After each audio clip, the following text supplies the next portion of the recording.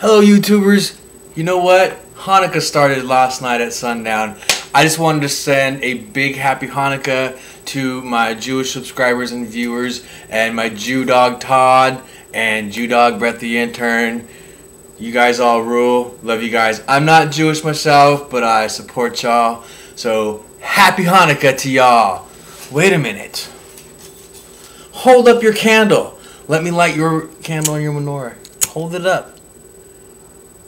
Ah, yeah. If you get a chance, post a video of, um, to this video of you maybe lighting a candle on your menorah. Happy Hanukkah, y'all. Love ya.